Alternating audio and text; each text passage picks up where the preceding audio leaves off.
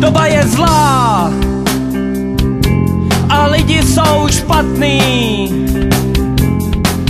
Proto tu hrajem